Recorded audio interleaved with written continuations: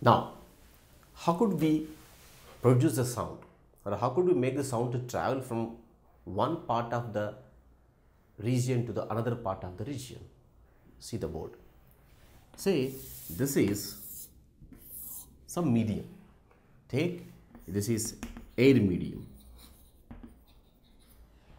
and you have produced a sound. Say this is the horn. A horn and sound is produced. The sound is produced. When the sound is produced through horn, the sound moves in all the directions. Take one direction. When the sound moves in the straight directions, it has to pass through air medium so that there will be a receiver who receives the sound. Now, when the sound wants to move from one part of the region to the other part of the region, then what happens? This air consists of air particles. Then what happens? When the sound is produced, is apply some pressure on the air particles. And this pressure applies some force on the particles. Then this particle starts vibrating. It starts vibrating from their position. They, move, they, will, they will do to and fro motion, just like a simple pendulum. Like how the simple pendulum move from mean to extreme positions. Similarly, the air particles also do to and fro motion. We say vibrations. So these vibrations carried from one particle to another particle, other particle to another particle, like this carried till to the end of the medium. Then the receiver, say the receiver is a person. Then this sound goes to the ears of the person. And in the, in, in the ears, you have eardrum. The eardrum starts vibrating. And because of the vibration of the eardrum, the message goes to your brain, and then you understand that some sound is coming to your ears.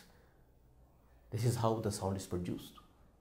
And here, when I said that, the sound is traveling through the medium, the particles are vibrating. When the particles are vibrating, actually they are carry, carrying the energy from one particle to another particle, another particle, another particle.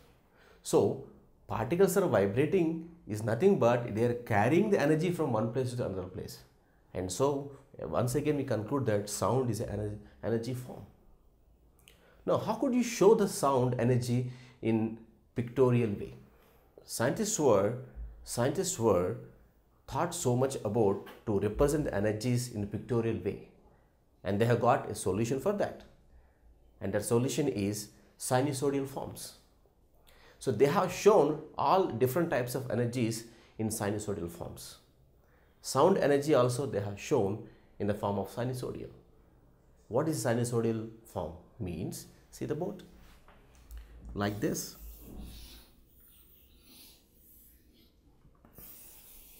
This is called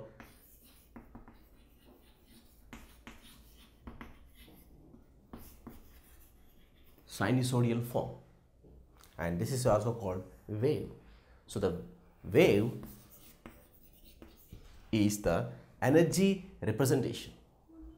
Wave is the energy representation. You have another meaning of wave in physics we discuss. We will used to used to say in physics department. Wave is nothing but a disturbance created in the region. Yes, suppose think that you brought a scent bottle in a closed room and you just open the cap of the scent bottle. Then what happens? Within seconds, the scent is spread is in every corner of the room. That means the scent creates some disturbance in the room so that you can smell the scent. Similarly, wave is also like that. Wave is the disturbance created in the region. Now you are listening what I am teaching here. Now if you increase the sound, so my what I am teaching here that can be heard by each and every corner of your room. Nothing but the sound is spreading each and every corner. As the sound is spreading each and every corner of your room, you can say that sound is a wave also. And that wave we represent the form of a sinusoidal.